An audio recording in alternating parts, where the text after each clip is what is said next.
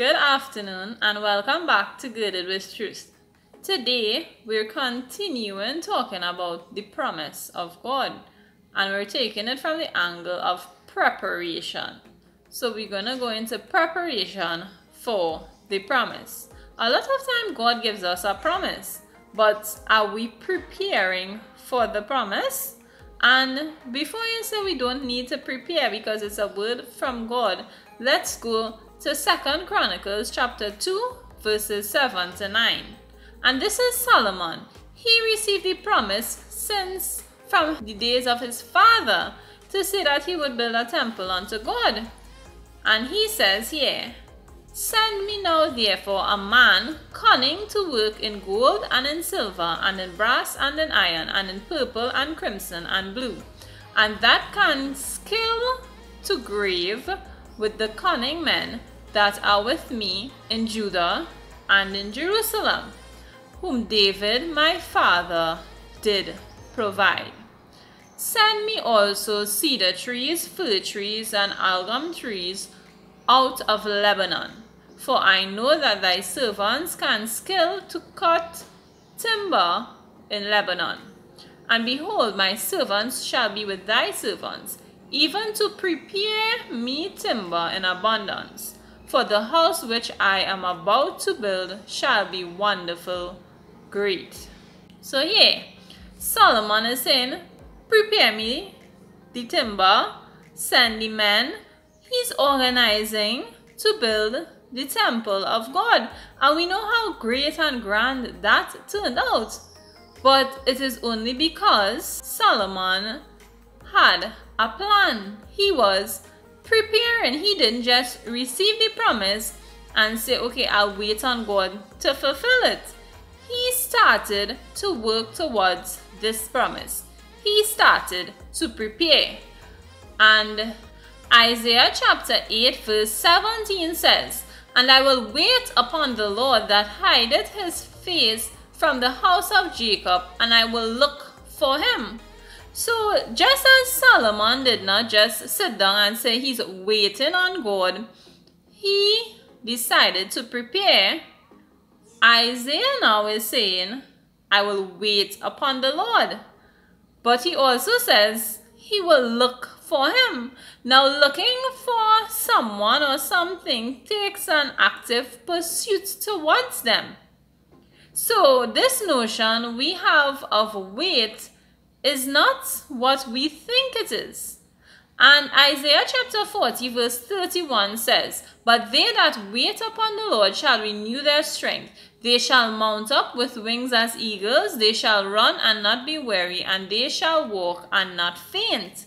So, this is talking about people who wait on the Lord are going somewhere. But before we go any further, let me address this issue of waiting. So this aspect of waiting speaks about tarrying, yes. It speaks about also looking for. But strange enough, it goes back to the Hebrew word kor, which says to actually carve out or to set a print.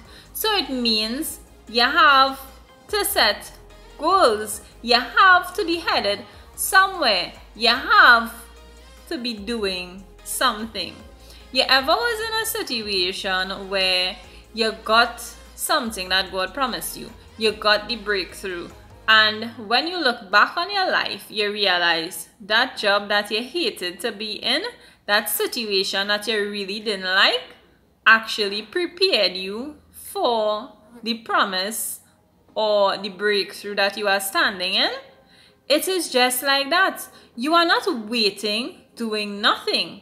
Instead, you are actively pursuing God. You are actively pursuing your destiny. You are setting a print or a goal or a vision for what God has promised you because God has given you the promise. You know, Habakkuk chapter 2 verse 3 says, For the vision is yet for an appointed time, but at the end it shall speak and not lie. Though it tarry, wait for it, because it shall surely come. It will not tarry. So here's this notion of waiting for the vision to come to pass.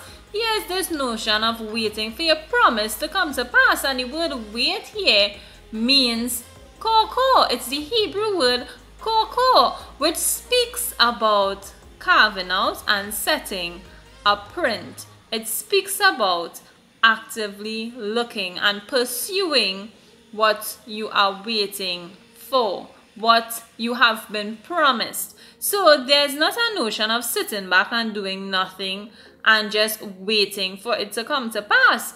Just as Solomon, we have a responsibility to actively prepare. We have to gather the resources that God has sent. We have to put the plan, the structure, and the strategy in place in order to execute this promise. God is not going to just hand it to you. He's not going to give you the promise, establish the promise, and give you all the materials for the promise too.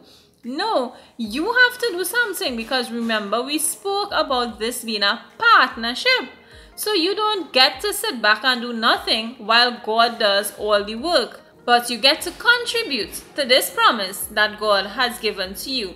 You have to get up and pray. You have to get up and fight. You have to prepare for the promise. You have to have faith and you have to have patience. But one thing that will come out of your preparation is the manifestation of this promise.